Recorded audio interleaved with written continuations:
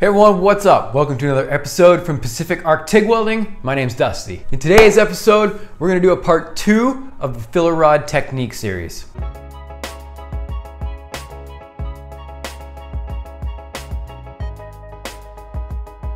To all the arc heads who watch the show every week, what's up? Welcome back. And to anybody that may be new to the channel, what's up? Welcome. I appreciate you stopping by to watch the video. If you are new, I definitely recommend that you bounce back, check out the other videos in the catalog. I do a lot of stuff on this channel, but everything I do is TIG welding related. So if you're down with TIG welding or if you're interested in art with uh, welding and stuff like that, I definitely recommend you bounce back. Check out the other episodes in my catalog. We do a lot of different things on this channel. Uh, one of my main favorite things to do is I do TIG welding art. Uh, I do crazy art pieces where I really push myself to do some wild stuff uh, with the skill of TIG welding that I've taken 18 or so years to learn. Uh, I do two-dimensional uh, paintings basically with TIG welding. I also do 3D sculptures and stuff like that. If you're interested in that, be sure to check them out. Also on the channel, I do TIG welding gear reviews. Uh, I get gear, uh, whether it's from the shop, just stuff I use commonly here. I'll give reviews and demos on stuff. Well, the other thing I do is I do how-tos. So today is kind of a how-to as well. So today, we're going over it again. I did an episode uh, a couple months ago or so. Uh, we did TIG welding filler rod technique. I'll put the link in the description below. So if this is the first one you're checking out of these series, be sure to jump back and check out part one. Just a quick refresher, in that one we talked about different technique as far as angle to put the filler rod in. We talked about how to properly clean a contaminated rod. Uh, keeping your stuff very clean is obviously very important. So make sure you check all that stuff out, as well as a bunch of other stuff in that episode. I think that episode for, I gotta say, for an episode about TIG rods, uh, pretty simple thing. I think it was about a half hour long. So I tend to talk too much. I apologize for that, but definitely a lot of info in that one. Uh, so jump back, check that one out if you haven't seen it already. But after posting that one, one of the most common questions I asked was uh, basically a variation of, that's great, thanks for the info, but how much filler rod do you actually put into a weld pool? So today, we're gonna go over exactly how much filler rod I use. Do I use a quick touch? Do I use a dab? Do I push the filler rod in? We're gonna go over that and I'm gonna do a demo with my machine here on some aluminum and you're gonna be able to see that for yourself. So, this is my TIG rod. What I've done is I've notched it by hand, super awkwardly, but I did it. I've put a notch every eighth of an inch, about half a length of this TIG rod, uh, every eighth of an inch or 3.2 millimeters, but you can see I've done it all uh, by hand there. So as I film uh, close up with the weld pass, uh, when I get the camera right in front of the weld, you'll be able to see exactly how much fill I'm putting into the weld pool. Okay, so we're gonna fire up the machine here.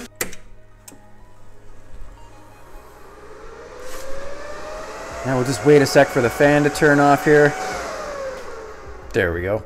Nice thing about this machine, the fan turns off after a few seconds. So today we're gonna use the CanaWeld. It's the 201 Pulse D model. Nice little machine. I did a whole demo and review of this machine. The link is in my description. I'll put it down there so you can check it out. I gave an entire breakdown of this entire machine. So be sure to bounce on back to check that one out. But for settings, what we're gonna do today, obviously we're gonna change to alternating current because we're welding aluminum.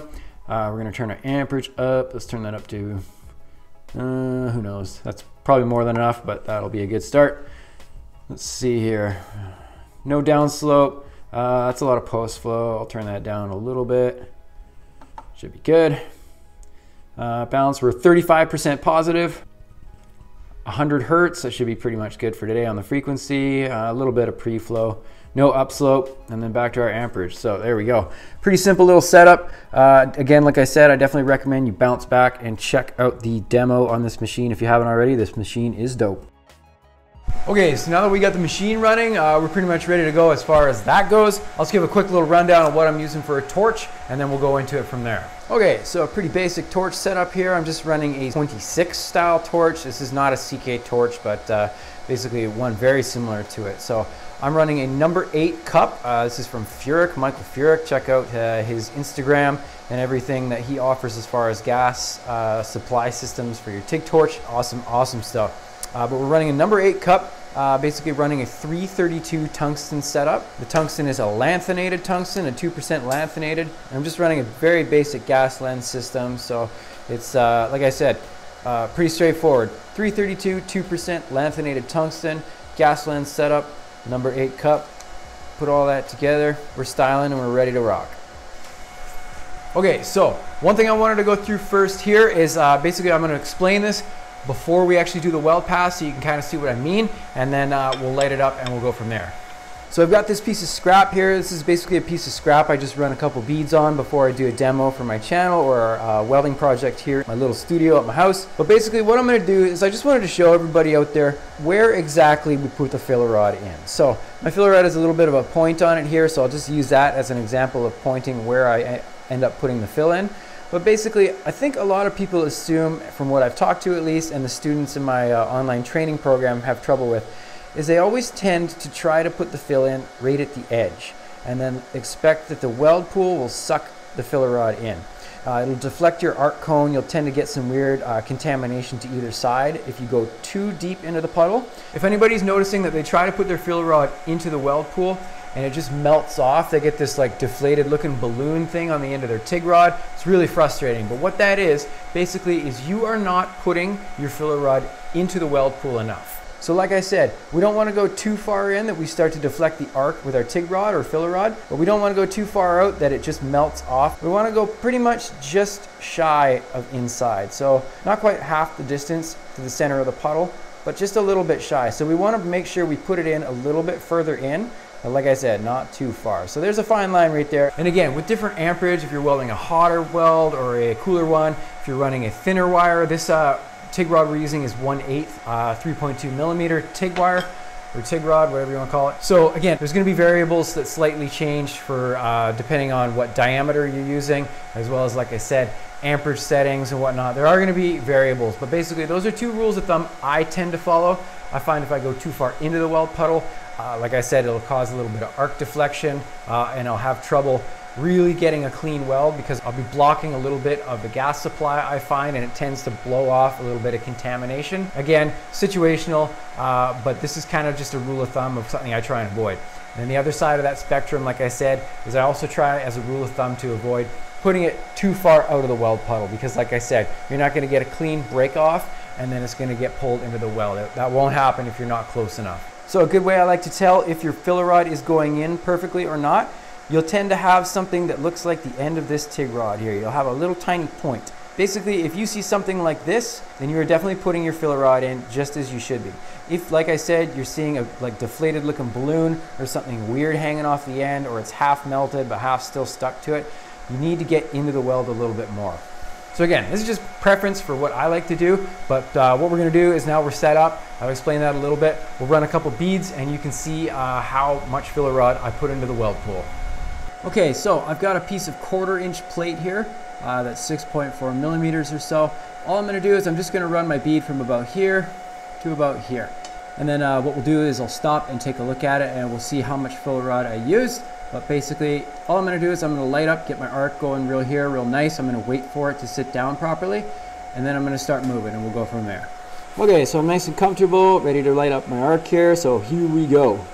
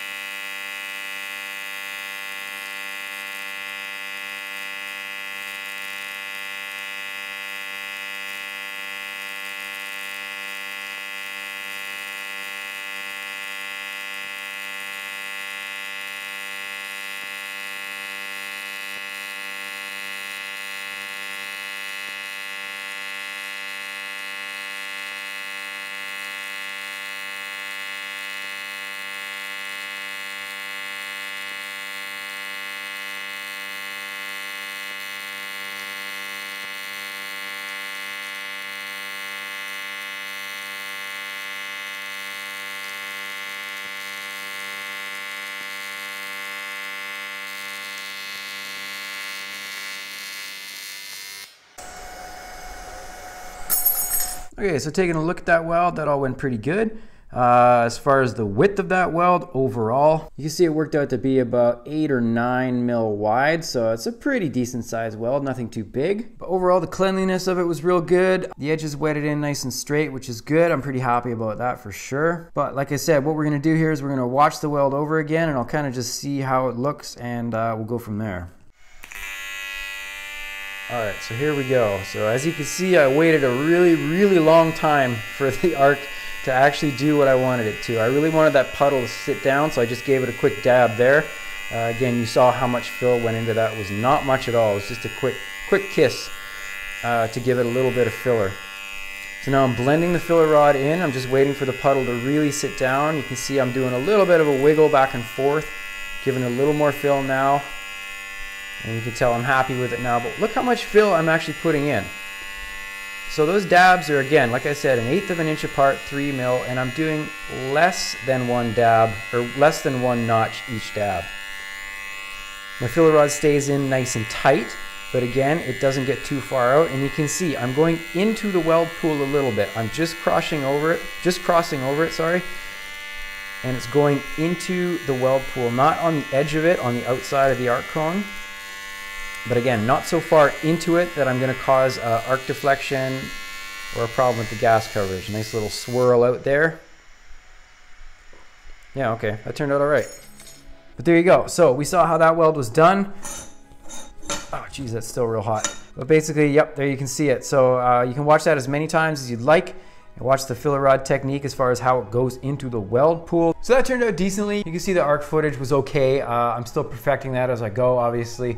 Uh, but overall, you kind of get a feel for how much filler rod I'm putting into it there. You can actually watch as the notches clip by, which is kind of cool to see. So again, I hope I clarified that. Uh, it was kind of cool to follow up that video with a few things I wish I did in the first one, but hey, uh, I got nothing but time on this channel here. I love goofing around with TIG welding stuff, TIG welding tricks, uh, cool little questions that I get. Again, that was numerous people mentioning it in the comments and on my Instagram as well. So if you have any ideas or anything you'd like to see me demonstrate, any types of weld joints, any kinds of tricks, any different gear setups or anything like that, comment below. Uh, I'll try and get back to you. I do read all the comments, but I don't reply to everybody because it's getting a little bit fast and furious. Um, and I just, I can't keep up with it all the time. If you leave a comment below, I will read it. Uh, another great way to get a hold of me directly, and I will message back guaranteed on this, uh, at least for now. Uh, hit me up on direct message through Instagram. My Instagram handle is right there, right there check it out. Uh, visit me on social media. Follow me on Instagram. Say what's up. Uh, again, just connect with me. I like talking with people. Uh, again, if you haven't already, check out my website. Website address is right there, pacificarctigwelding.com. I got an image gallery on there for all my art pieces I do. Uh, I have a TIG welding blog. I just blather on about TIG welding related stuff and what I'm up to in this little studio here, as well as my online training program. My online training program is going really well. I'm super stoked on all the students that are in it right now. We're doing really well and having a good time. Uh, it's a TIG welding program for beginners. We're going through it all one by one right now and ticking off the lessons and it's really fun. Going real well so far. But again, follow me on social media, check out my website. Uh, again, I really, really appreciate anybody that watches these videos, especially all the way to the end. Again, I hope everybody's doing all right out there. Uh, regardless though, I hope you're doing all right. I really thank you a lot for watching my episode here today. Uh, random act of kindness for a stranger. It's a little challenge I issue at the end of all my episodes now is, uh, yeah, do something nice for a stranger. Random act of kindness. Uh, write something nice on some total strangers Instagram profile or whatever. Just do something nice, spread some positivity. That's what we need right now, uh, and that's what my channel is all about. So again, my name is Dusty. Thank you so much for watching this episode here today on Pacific Arc TIG Welding. Have a good one. Peace.